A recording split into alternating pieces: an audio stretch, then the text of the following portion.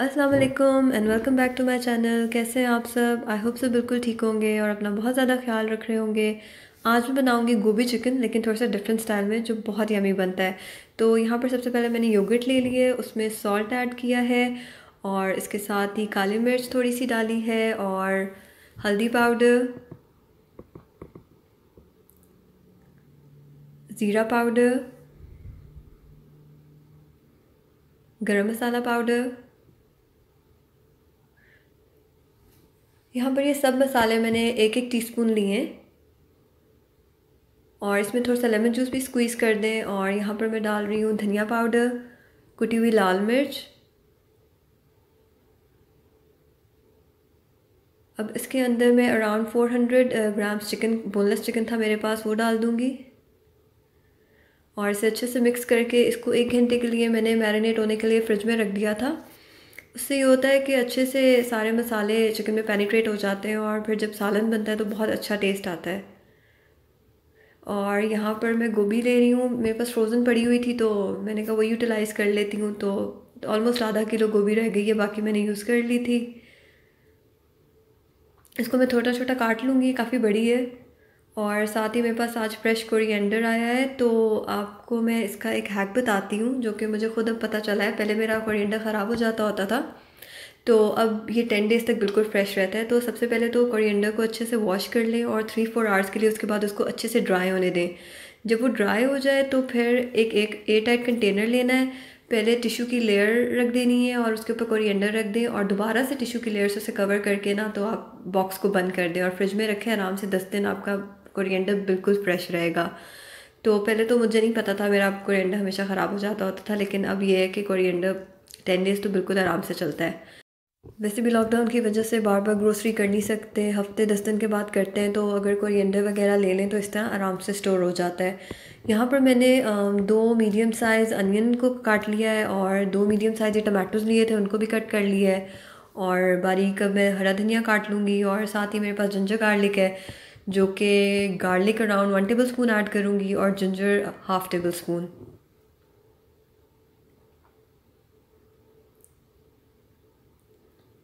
थोड़ा सा इनमें गार्निशिंग के लिए भी मैं जिंजर काट रही हूँ।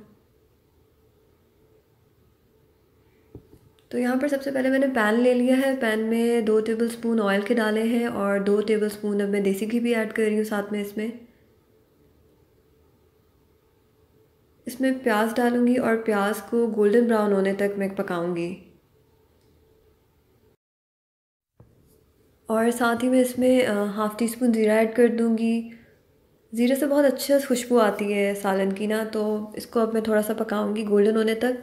और जब ये प्याज गोल्डन हो जाएँगे तो इसमें जिंजर गार्लिक ऐड कर दूँगी। जिंजर मैंने पहले भी बताया था कि almost half tablespoon add करना है और गार्लिक वन टेबल स्पून और फ्रेशली ग्रेटेड जिंजर गार्लिक की खुशबू और जायका मुझे बहुत अच्छा लगता है।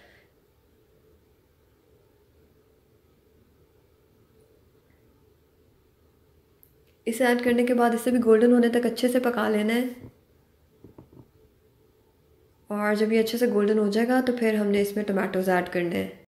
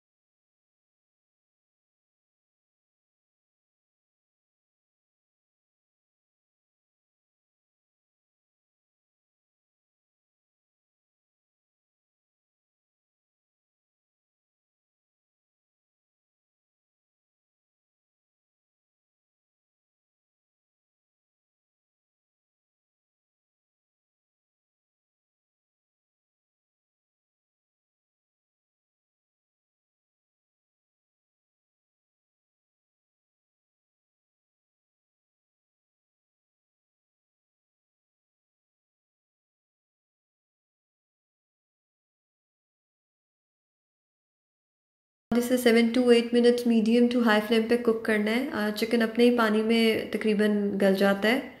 अलग से पानी ऐड करने की भी ज़रूरत नहीं है। इसमें दही भी है तो दही भी अपना पानी छोड़ देता है।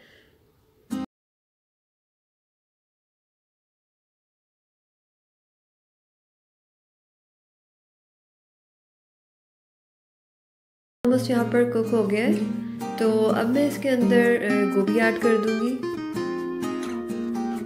और गोभी ऐड करने के बाद इसे दो से तीन मिनट भूनना है अच्छे से और भूनने के बाद इसे 12 से 15 मिनट तक दम दे देना है।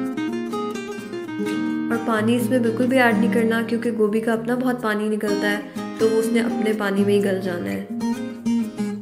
तो बस यहाँ पर इसे दो तीन मिनट भूनूँगी और उसके बाद इसे कवर करके रख दूँगी 12 से 15 मिनट। उसमें ये अच्छे से गल जाएगी और ऑयल भी अच्छे से सेपरेट हो जाता है इतनी देर में।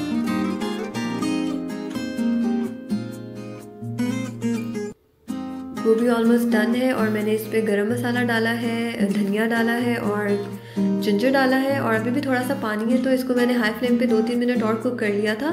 पानी बस बिल्कुल ड्राई कर लेना है इसका। और फिर मैंने इसे डिश आउट कर लिया। ये बहुत यमी और चटपटी बनती है तो ज़रूर ट्राई कीजिएगा और मुझे ट्राई करके बताइएगा फीडबैक ज़रूर दीजिएगा कि आपको कैसी लगी। और अगर आपको मेरा आज का वीलॉग अच्छा लगा तो मेरे चैनल को ज़रूर सब्सक्राइब करें लाइक करें शेयर करें और आप ऐसी ही मेरी वीडियोस को लाइक करते रहें, आप लोग अप्रिशिएट कर रहे हैं, मुझे बहुत खुशी होती है, मैं रोज़ आप लोगों के कमेंट्स पढ़ती हूँ। तो इन ताला अपने नेक्स्ट वीलॉग के साथ आप लोगों से जल्दी मिलूँगी। तब तक के लिए अपना बहुत सारा ख्याल रखिएगा, अल्लाह हाफ़ टेक केयर